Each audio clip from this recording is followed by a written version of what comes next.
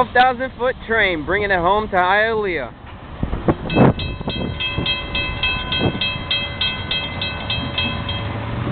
EOT by me at 603. BBT 609 at County Road 512 East Crossing with Caboose Junction just a mile south at milepost 216. Out.